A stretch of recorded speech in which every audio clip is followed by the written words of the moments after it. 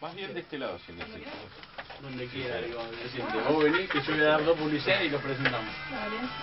Vos sentate ahí, Raúl. Sí. O en el medio vos y el aire. Aquí estamos, mientras nos acomodamos, le cuento, Ortopedia Las Lomas, tu ortopedia amiga, Fondo de la Legua 397 Lomas de San Isidro.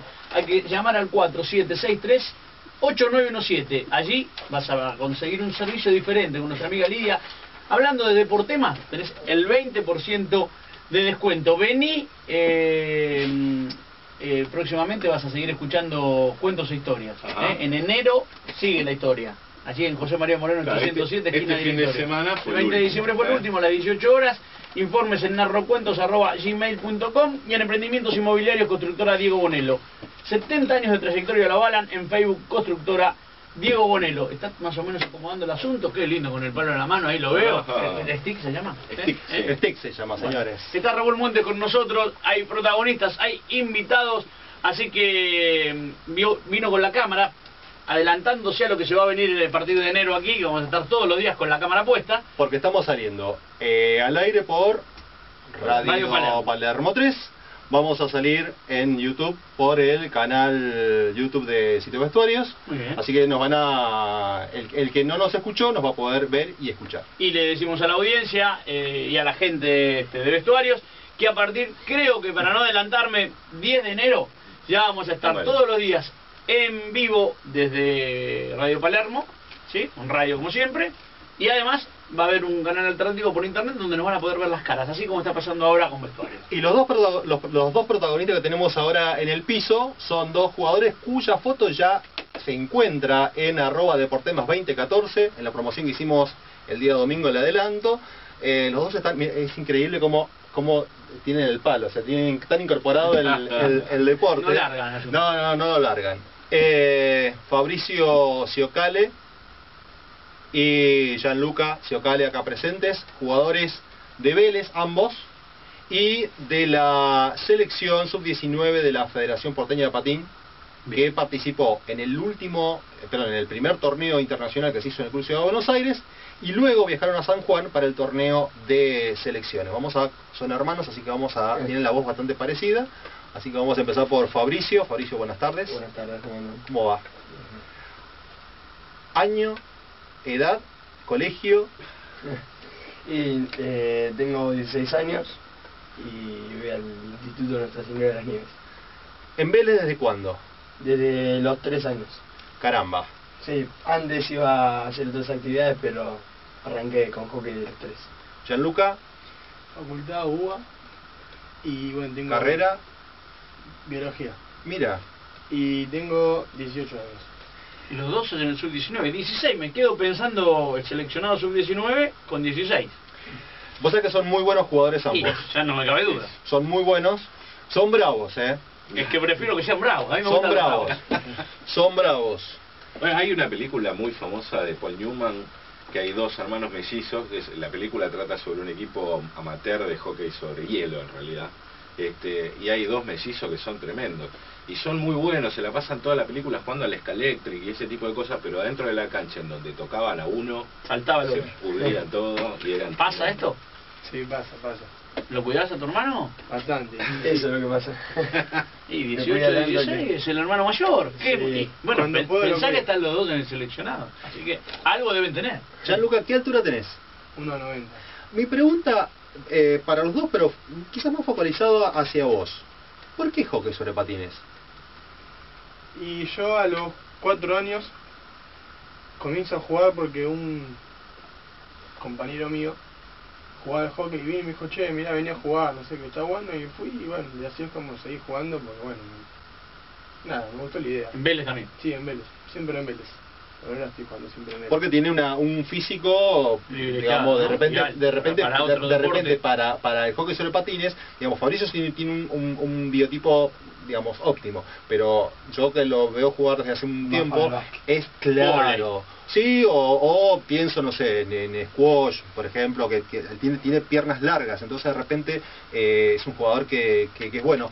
Que igual, igualmente, para el hockey también es bueno, porque recuperas una bocha y estás en dos segundos en el arco contrario. en el arco contrario. Chicos, sensaciones del torneo internacional en el cual la selección eh, comandada en ese momento por Pichu Galvani, tuvo su bautismo de fuego. Eh, yo creo que fue una linda experiencia, fue un momento para conocernos más dentro de la cancha y como fue, claro, la primera prueba, eh, creo que estuvo un buen nivel el equipo. Más que nada en los últimos partidos fue cuando mejor rendimiento tuvimos. ¿Chaluca? Eh, por un lado, íbamos un mes jugando juntos, así que yo creo que vino bien, o sea, para, ¿viste? para poder jugar juntos, porque o sea, como es un deporte que es muy rápido, entonces uno tiene, o sea, tiene que conocer al otro con el que juega. Entonces yo creo que eso vino bien porque fueron, fue jugar miércoles, jueves, viernes, sábado, todos juntos, entonces bueno, yo creo que eso vino bien. Por otro lado, me eh, creo que fue muy seguido el tema de este torneo con el otro. El de selecciones. Sí, entonces como que hubo poco, poco tiempo para prepararse para algo tan serio como esto puede llegar a ser, y más con un cambio de técnico que hubo en el medio. Porque Pichu no pudo viajar. Exactamente. Entonces bueno, hubo viste un cambio de técnico que claramente cada uno tiene su forma de juego, sus tácticas, su. Entonces yo creo que estuvo bueno por ese lado, pero bueno, si uno viste pone su forma de jugar y después lo cambia para ir a jugar otra cosa que es más, eh, o sea, más importante, claro, aún, para mí que eso, bueno, también tuvo ahí sus fallas, pero no, estuvo, estuvo bueno. Y, y mentalmente, ¿cómo, cómo, los prepara, ¿cómo se prepararon, cómo los prepararon ustedes para el torneo que se disputó en Ciudad de Buenos Aires? Porque hay que, no hay, hay que recordar que eh, habían equipos muy fuertes. eh, hablamos de Estudiantil Porteño, hablamos de Huracán, Huracán juega fuerte. Eh, Ciudad de Buenos Aires, digo, equipos de primera, de repente jugando con chicos como, como vos, por ejemplo. ¿Cómo fue eso de meterse a la, a la pista para jugar con, con esos equipos? Y eh, ya nos venían preparando unos días antes en los entrenamientos, mentaliza- mentalizándonos que eran partidos para que nosotros nos vayamos curtiendo dentro de la cancha, conociéndonos. Así que importaba el resultado, como uno siempre entra la cancha tratando de ganar, dando lo mejor, pero más que nada había que importar en si nos hicimos bien, conocernos, un poquito más sea, entramos a la cancha con esa mentalidad de eh, dar lo mejor y es una especie de práctica. Y ustedes sintieron que esto, que esto fue, hago esta pregunta en función de, primero, declaraciones que tuve en su momento con Pichu, en el cual estaba como, estaba como, eh, ya- ¿cómo puedo decirlo? Como molesto, esa, esa es la palabra, Se- sentía como esa molestia, ¿viste? cuando vas caminando sentís algo en el Sí. pie que te va molestando. Entonces él estaba conforme con el equipo, él, él quería eh, jugar el torneo, pero sentía algo como que le molestaba en, en- en cuanto a cómo iba a funcionar el equipo en el torneo. Por otro lado, que yo lo vi muy muy bien, muy bien, jugaron la verdad muy bien, partidos muy interesantes, mu- mucha dinámica, mucha circulación de la bocha, muy bien ensamblados los jugadores. eh, como que no- noto que entre lo- mi visión y la visión que tenía Picho en su momento había una, una brecha importante. Eh, ¿cómo, ¿Cómo lo vieron ustedes? ¿Cómo, ¿Cómo terminaron ustedes después los partidos? Eh, bueno, para mí, o sea, por, por el poco tiempo que hubo, o sea, para jugar todos juntos, salió algo muy lindo. Sin embargo, bueno, Pichu tuvo, viste, jugó por Europa, jugó por todos lados y yo y yo creo que él eh, tiene otra forma de ver el hockey comparado con otros técnicos que yo fui teniendo. Entonces veo que a él, ponele, le gusta trabajar durante unos meses con esos jugadores y ahí, cuando ellos están en un buen nivel, ahí salir a jugar. Él buscaba ensamblar y a partir de ahí este, competir. ya ahí tener firme No ir corrigiendo en, en el juego. Claro. Una vez que él tiene bien a sus soldados, ahí sale y juega. Para eso tenés que tener tiempo. Claro. Y como y presupuesto y una buena Y, organización bueno, de- y, un- y una buena organi- no y aparte una buena organización de, de, de un torneo digamos o sea cómo cómo haces para convocar a un a, x cantidad de jugadores cuando en el medio te, te meten partidos te reprograman Imposible. partidos locales es un poquito complicado Mm. Es lo que decíamos en los entretiempos, que no teníamos tiempo para trabajar algunas cosas, así que las trabajamos en el partido directamente. Ujú. Con los errores que puede llevar este, Claro. eso, ¿no? ¿O no? Si sale bien, bueno, bárbaro, pero Sí, si no sí, en el medio... Sí, yo creo que en general en, el- en lo que fue la organización del torneo, me refiero al torneo internacional acá en Ciudad de Buenos Aires, me parece que quedó claro en la idea de que los chicos del sub-19 iban como una especie de eh, experiencia, como Banco de pruebas. un banco de pruebas, ir, ir, ir a foguearlo al equipo, o sea, no, no se pusieron demasiadas expectativas en el, igualmente eh, tuvieron, o sea, quedaron muy bien posicionados. eh, o sea, Quinto lugar. Sí, digamos, no es nada despreciable. Chicos, San Juan,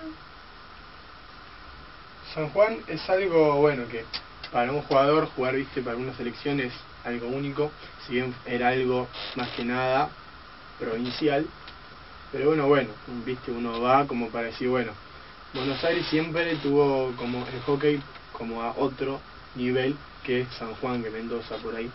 Entonces, viste, era, es como algo que uno ve y dice, bueno, mirá, mirá hacia como jugamos igual que vos, ¿entendés? Sí. Entonces uno quiere ir, viste, para ir a jugar bien, ganar, salir campeón, viste, y como que piensen que jugamos nosotros también. Y no sea como que acá es un deporte y, y nada más. Entonces uno, viste, va bien, o sea, como, viste, para ir y dar pelea y para, y para ver si puede ir y jugar bien allá.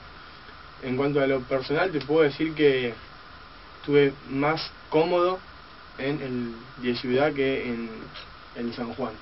a ver, como, de- como te dirían en la facultad, ¿Te hicieron, sentir. ¿Te hicieron sentir el localismo? No, no, no, no era eso. Por un lado era bueno que jugamos por ahí en tres canchas Ujú. diferentes. y Para, vamos, vamos a, a- a- así, me, A así me- así me saca, claro, porque una de las de las eh, cuestiones que a mí me llamó la atención es que jugaron eh, varios partidos, muchos eh, equipos en pista descubierta, lo cual me llama poderosamente la atención, porque los sanjuaninos son muy eh, eh, delicados en ese tipo de, de cosas y en general esos torneos se hacen y cuando se hacen afuera ellos exigen que se hagan en canchas techadas porque no es lo mismo eh, jugar en la pista de Unión que jugar en la pista del SEC Claro, sí. Digamos, Y pero están se- a la intemperie la pista Se fijan en los mínimos detalles que te hacen perder un partido o ganarlo. Por ejemplo, el equipo de la sub-17 tiene tres jugadores de estudiantil, sí, que es un equipo de San Juan. sí. Entonces ellos donde te pusieron el partido, en estudiantil. Esos mínimos detalles son los que le permiten conocer la cancha, ya se, se conocían. Entonces cuando van a jugar el partido, juegan esos tres titulares y con ese mínimo detalle, capaz que vos no conocés la cancha, te, sen- te sentís incómodo, ellos van y te ganan un partido así. Bilardo te diría, esa es la forma. teniendo en cuenta siempre que en hockey un metro te cambia la vida. Por ejemplo, esta cancha es de 42 metros por 21, más o menos, que es... Ustedes jugaron en la pista de estudiantil Sí. en el pleno centro de San Juan. Sí. No, no, la en otra, la de- Lucía, tienen dos sedes. Ah, Que es la ahora nueva. Está bien. a- ahora Esa sí. es enorme, pero tiene 43 metros de largo por 21 metros de ancho. Es la más grande de toda Argentina. Mientras que, Ah. por ejemplo, la de Vélez, que es una que jugamos siempre nosotros, todo tiene eh, 38 Mirá metros. vos, Cuatro metros mucho. ¿Qué te parece? muchísimo. Eh, En cualquier ya. deporte, ¿eh? Digamos. Ya- ya uno te cambia, varía. Y esto es rápido todo, es decir, en, en un metro vos, listo, ya está.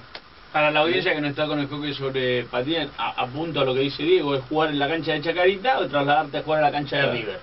Para los futboleros. ¿eh? O la cancha de San Lorenzo Claro. y, y te llevo a jugar este, eso, a la cancha de Ferro, por decir. Perder la noción de, Sí, de de dónde, claro, De de dónde tirar, de dónde amagar. Igualmente ustedes, la pista de Vélez es una pista... 38, sí, 38 por cuánto? pero- 20. Por 19. 19. Sí, pero ya son dos metros de ¿Qué alto. te parece? mucho. No, no, no, no, bueno, está bien, me, me- o sea, me- ustedes, si, si a ustedes les, les sorprendió, me imagino lo que debe haber sido por los pibes de Huracán, por ejemplo, que Claro, la pista de Huracán es una cancha chica. Sí. Bueno, ¿y, y qué, qué otra cosa? Para mí el cambio de técnico fue lo primordial. Veníamos con, sí. con una línea ya puesta y de ahí, bueno, estábamos trabajando como se podía, cada uno daba, o sea, lo que más sabía hacer, por ahí él con su talento, por ahí yo con, no sé, con fuerza, qué sé yo. Entonces, bueno, y de ahí pasar a una semana antes de este gran torneo, llamale, nos cambian el técnico. Entonces, bueno, viste, mientras que él pone su forma de jugar, mientras que nos da jugadas, mientras que ve cuál es el equipo que sale a la cancha, cuál es el suplente, cuál es el primer cambio, todo eso, como que perdés un poco en cuenta, es decir, las características que puede tener Sí, cada sí, jugador. sí, sí. Sí, Sí, sí, pero te- prácticamente sale a dirigirlos sin conocerlos. Claro, entonces ¿qué haces? Bueno, juegan un poco cada uno y ahí va viendo quién rinde, quién no, ¿entendés? Y el que, y el que rinde es el que claramente se queda jugando. Em, arbitrajes. Eh, personalmente te quiero decir que depende del partido, fue variando. Bien que podés hacerle pelea, Es complicado. y te la te bajan la línea. Pero por ejemplo comparado con, con Buenos Aires. Eh, los árbitros sanjuaninos bastante mal en comparación a los del capital y los mendocinos siem- eh, estaban neutros, Ujú. en la posición neutra. Los del capital no viajaron, no, no hubo presencia. Me consta que ¿Sabes, no. no? Me, con- me consta por qué dice por qué. Eh, ¿Qué cosas sorprendieron de, de lo que se vio en San Juan? ¿Qué cosas ustedes dijeron, wow? En cuanto a los jugadores o en cuanto a la forma que Lo viven que, el hockey? lo que se te venga en este momento a la memoria. la forma en que viven el hockey y cómo Ah. lo sienten. Se vive y se transpira todo el día hockey. Allá vas y están todo el día jugando torneos, finales. Y es, y es ver y copiar. Los chicos allá, vos ves que el estadio se llena, copian, copian, copian, y ahí es donde salen los buenos jugadores, las manias. Que acá falta eso capaz. Es que es el deporte de cabecera, entonces aprovechan eso justamente para seguir sacando. Como acá es el fútbol. Vos sabés que para, que tengas una idea, Jorge, Diego, eh, la hoy se están jugando en San Juan partidos de la Liga A2, la Liga Nacional A2. Mañana se están jugando partidos. El domingo eh, se estuvieron definiendo partidos y, y, digamos eh, distintas categorías en Mendoza. Un saludo a la gente prejuvenil de Petroleros de Mendoza. Eh, o sea, la, la, y acá en Buenos Aires, ¿cuánto hace que terminamos? ya como Son- dos, tres semanas, sí. ¿no? Sí, Y, y tenemos todo enero, eh, no sé, no sé, Febrero, marzo. o sea, con, en marzo con suerte empezaremos la, la Copa Geva. Eh, cuando hablamos de, de- de, digamos, de igualar el nivel de- del- del deporte, tenemos que también pensar en este tipo de cosas. O sea, mientras, La competencia. claro, o sea, acá, allá todavía están, siguen, siguen compitiendo. Estamos en el mismo país, ¿eh? Y- Hablamos y- de allá y acá y estamos en el mismo país. Y en cantidad de equipos, me imagino que el potencial que hay de cantidad de equipos acá en Capital y Gran Buenos Aires debe ser mucho mayor a San Juan y Mendoza, No, ¿o no? todo lo A ver. contrario. ¿Sí? Todo lo contrario. Acá Wow. Tenés, en una primera tenés, no sé si son 12 o 13 equipos, 11, no sé cuántos son, mientras que allá tenés hasta 20. 22 Wow. equipos. No, si bueno, yo hablo de un pero- sueño para ustedes es ir a jugar a San Juan, Claro, claramente. San Sí. Juan o ir a otro lugar. no, no, que o emigrar de emigrar país, a, ¿no? a Europa. Hablaba de, perdón, Sí. vos te reconociste jugador de fuerza y hablaste de talento de tu hermano. Sí. ¿Es así? Y no sé, no me... No me quiero tirar flores solo. No, No claro. me gusta hablar de mí. No me gusta hablar de mí. Pero bueno, entonces hablame vos de él y vos de- y, y- y viceversa. Bueno, hablando de primero, creo que es un jugador con mucha potencia, muy difícil de pasarlo, es largo. Eh, más que nada tiene buen tiro. un par de veces me comí unos bochazos. Unos bochazos Sí. dolorosos. Sí, te deja marquitas. No y, y bueno, yo creo que es un jugador importante en la marca, que, que influye mucho y, y es un buen capitán, porque en, las- en la, pre- en la selección era el capitán. Bien, marca este el rol de capitán bien. Claro, sí. Bueno, me imagino que al tener 16 y el hermano de 18 dice que es bueno en la marca, él es dotado de haber practicado millones de veces tratar de pasarlo y ahí y ahí fue aprendiendo. Claro. Entonces, ¿cómo es? Gianluca de Fabricio. Para mí, eh, él es, viste, viste cuando uno ponele, no sé, está o en la facultad, cada uno en su área ve un pibe que es el diferente, Sí. por ejemplo, no sé, que tiene más facilidad para las cosas. Para mí, él es así. Es decir, hay uno entre 100, ponele, que... ponele, Destaca. Claro, vos vas y ponele, no sé, ahí, qué sé yo, para... Tiro bien una jugada, yo estoy una hora para hacerla. Y él le sale la segunda. Claro, prueba una vez y le sale mal. Prueba Bueno, dos, chao. y Está dotado el Se chico. nota que mi hermano.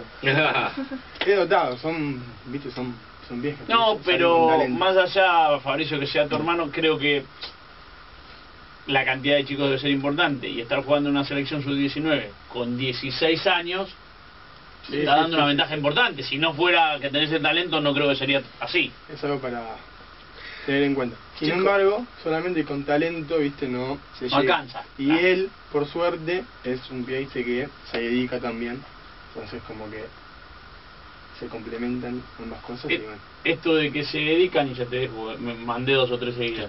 Esto de que se dedican Adelante. es, este, estudias el secundario, Sí. ¿y cuánto tiempo te llevaste materias? No, ni uno. Bien, No entonces, o sea que es- eh, no solo es dotado con el tema de- de- del hockey sobre césped, del hockey sobre patín, eh, es responsable este, Con la vida. Con la vida. Eh, ¿Y cuántas horas le, te lleva en el día el entrenamiento de, de hockey sobre ruedas? Y en cuanto a lo que es práctica, ponerme los patines eh, depende la semana, ¿no? Porque hay veces que te programan partidos en el medio, pero habitualmente por día dos horas, otros días tres capaz. Eh, pero después capaz que arranqué con el gimnasio ahora, por la edad, Bien, y estoy yendo una hora por día. bien, bien. ¿Y vos, que ya estás en la facultad? Y ya, viste, como que es más complicado. Los tiempos se te empiezan a achicar. Sí. Pero bueno, igual, ¿Viven cerca de Vélez ustedes? sí, vivimos a 15 cuadras. Ajá, cuadras. bien. Así que bueno, estamos ahí. Pero y bueno, igual, siempre es bueno tener un complemento, Lógico. Que en este caso, bueno, es el gimnasio. Y la pregunta, este, como cierra este, este tema que estamos tocando, estuvieron jugando en San Juan, hablaron con los chicos de San Juan, ¿cuánto tiempo del día están ellos jugando al hockey sobre ruedas? Eh, O hay- practicando, o hay- entrenando, o una, una media. Hay una diferencia. Ellos capaz que tienen, como hay muchos chicos en mucha cantidad, capaz que tienen entrenamientos in- son intensos de una hora y media Ajá. por día capaz. Pero lo que hacen, hacen ellos es estar todo el día con el palo y la bocha, sin los patines, más allá de eso, están todo el día transpirando, viviendo. No es tanto practicar. No, es lo que hablábamos ya, Lucas, es el potrero de ellos. Es el Claro. potrero acá de fútbol. Claro, eh, acá, eh, acá te juntás con tus amigos a jugar a la pelota, ellos se juntan a jugar al hockey, te juntás a ver un partido de fútbol, ellos se juntan a ver un partido de hockey. Es lo que pasa cuando imitan, imitan las manias, imitan, eh, capaz que lo sienten de otra manera. Entonces eso es lo que inspiran, ¿saben? La inspiración vale mucho también. Van a jugar partidos diferentes La meta de ustedes es, primer paso, ir a jugar a, a San Juan. y, y se puede dar. persona. Para ¿Cómo, mí, cómo, cómo no te escuché? según la persona.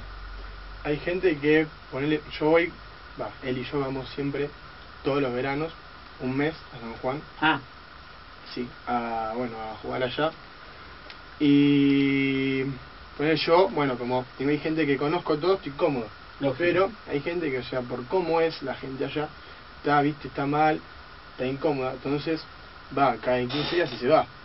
Como también conozco gente que está un año jugando allá para ver su nivel, para subir su nivel y de ahí poder irse, no sé, a Europa. ujú. ¿Ustedes van a vacacionar allá a propósito o es una cuestión de terminan No. el colegio y van... Y, No, sí, vamos allá todo febrero, por lo general, y bueno, entonces vamos allá y nada, jugamos. Practican con ellos, por decirlo sí. así. hacer un entrenamiento con ellos. Bien. La pretemporada, a ver cómo copiar algunas cosas o hacer amistades. No es todo también. No, no, no, no, entiendo, entiendo. ¿Y esto hace mucho? Y hace dos años ya, tres, No, no, hace tres años. tres años. Chicos, el- en la semana previa al, al inicio del torneo de selecciones, eh, por el aire de Deportema salió Daniel Kenan. eh, y yo le preguntaba si, bueno, si este torneo era una especie también de vidriera para, como para mostrar cada uno su juego, teniendo en cuenta que el 2015, que lo tenemos a la vuelta de la esquina, eh, se va a jugar nada menos que el Mundial Senior en Francia y el Sub-20 en España. ¿Pasó por ahí Cairo? ¿Hablaron algo? Y uno no habla con, con los entrenadores ¿viste, de la selección, pero sí vimos algunos partidos que estaba presente y más que nada en la final, eso también toma uno como un, Una meta. una meta, llegar a la selección y más cuando te está mirando en un partido capaz. Eso inspira también, o sea, es diferente.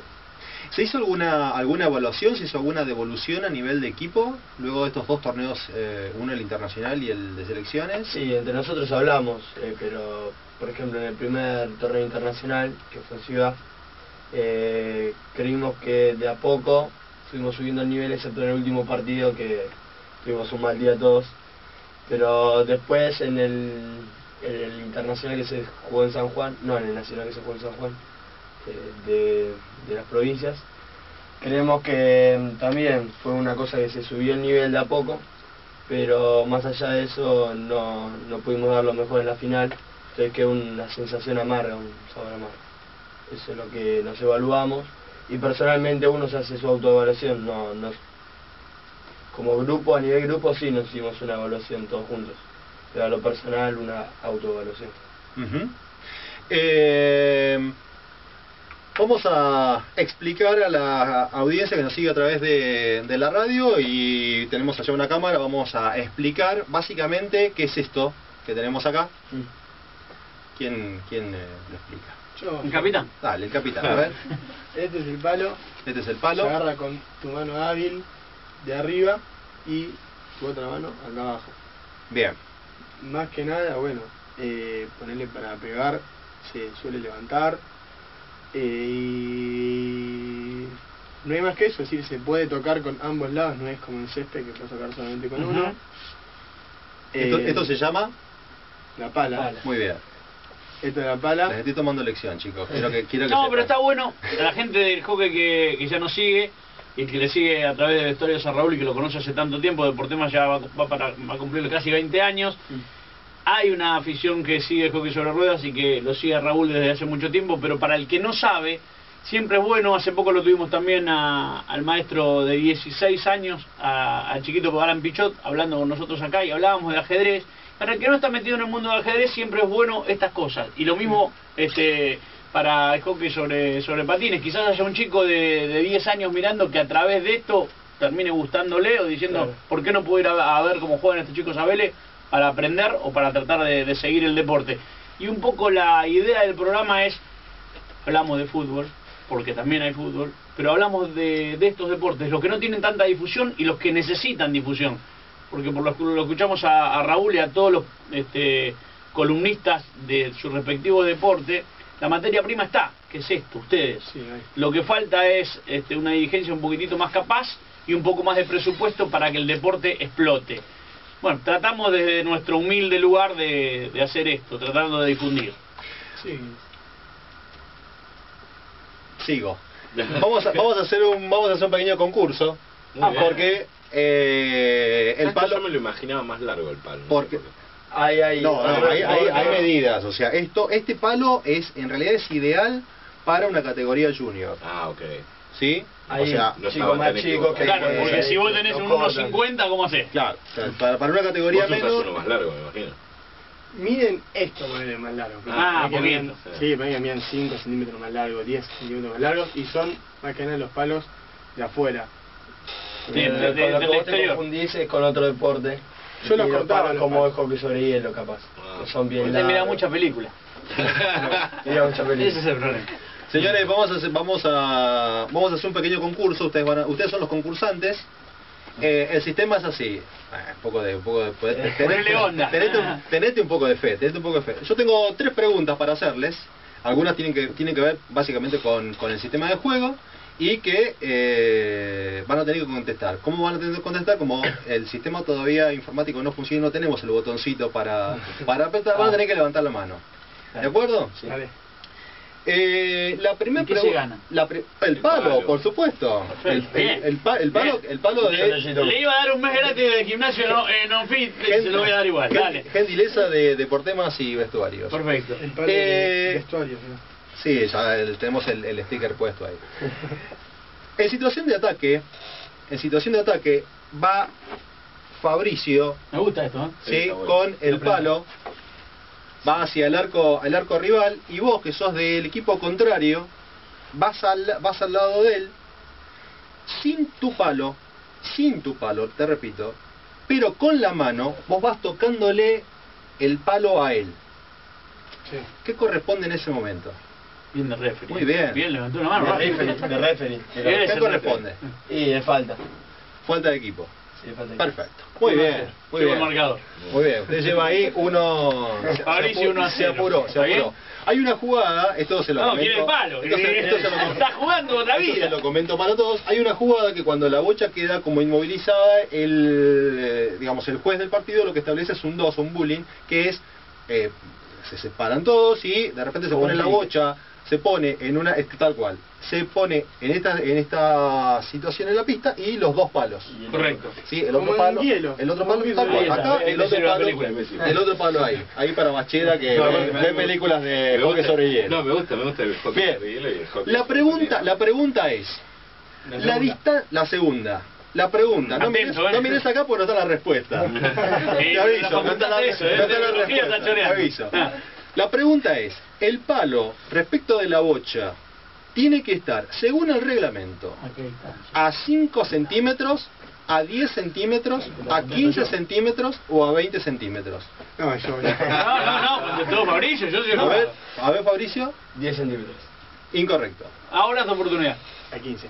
Incorrecto, señores. Ah, sí, sí. 20 centímetros. Pero en el 2, Nadie, lo que pasa es que nadie lo cumple. Claro. Está bien, está bien, está lo bien. pones Bien así. Castrilli. Vamos. Está- que nadie lo cumpla, eso Yo lo estoy tengo. seguro que Montes lo hace cumplir cuando. Sí. Por supuesto. Yo estoy seguro. Por supuesto, por supuesto.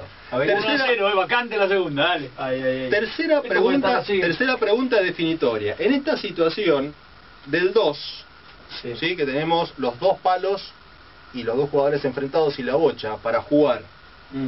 y uno, uno, manteniendo los 20 centímetros de distancia, pero uno toca la bocha, juega la bocha, pero el palo está en el aire, ¿qué se debe, qué decisión se debe tomar no, no, ahí? Fabricio, rápido. ¿eh? Ahora me doy cuenta porque está- el tipo está así. Ah. Termine la frase. Ojo, igual, ojo, igual que levantó, levantó la mano y contestó mal. Vamos a ver ahora. Pensá lo que vas a decir, ¿eh? Eh, el que levantó el palo antes, que lo tenía en el aire, es falta para el otro equipo. Por ende, Por en- que está mal. está mal y entonces, ¿qué hay ahí? ¿Qué cobra? ¿Qué cobra? No te es falta de equipo. No hay falta de equipo, No, muy bien. Esa era la respuesta. Vamos. Y entonces, No hay falta de equipo. Y saca al otro equipo. saca el otro equipo. Señor, el palo es suyo. Vamos. Felicitaciones. ¿Qué? ¿Qué No quedabas corto. A la noche va el noche. Claro, después, después lo comparte. El hermano mayor. Bueno, ganaste, que Fabricio. decir, ¿querés que te siga A vos te vamos a dar el cuidando? gimnasio, vamos a dar a los dos un gimnasio en fit igual, ¿eh? Eh, para que entrenen, no sé si se van afuera en diciembre, pero ahí en, a metros del obelisco, en Medina Vélez, hay unas máquinas espectaculares, así que se, se lo vamos Psicodicola, en enero, en enero los muchachos van a, van a tener una actividad que eh, no lo vamos a, no lo vamos a contar para no quemarlo. Yo dije diciembre, quedan pocos días, bueno, No, vamos a no, hacer la de no, enero. no. Bueno, en, en- en enero los muchachos van a estar ocupados en algo que después, en su momento, lo vamos a, a contar. Y en febrero lo- se van a San Juan. ¿no? en febrero, bueno, pero digamos, eh, después lo vamos a Bien. vamos a dar una noticia. Lo Con- mantenemos con, esto que quiero decir, que yo sé algo, que ustedes ahora eh, saben algo, que vamos a vamos a mantenerlo en el cómo freezer. la gente. Vamos, a, man- la vamos, a- gente. vamos a mantenerlo en el freezer eh, para no quemarlo. Perfecto. Pero vamos a desearle suerte Ok. Sí, desde ya. en este en este En emprendimiento. todo lo que emprendan. Fabricio, Gianluca Ciocali, felicitaciones y muchas gracias por haber venido. No, gracias a gracias a ustedes. ustedes. Bien. ¿Vos tenés que trabajar otra vez? ¿Qué vas a hacer? claro, estaba cómodo, ¿eh? Muchas gracias, chicos. Gracias. Che, pero sale el que no, Sí, no, no, no, eso- No, vos le tenés que decir ahora que que te cuide. bueno. No, vos empieza a cagar a palo, empieza a tirar esos pelotazos, te la pone acá, chao. Me rompo un palazo acá. No, sabés lo.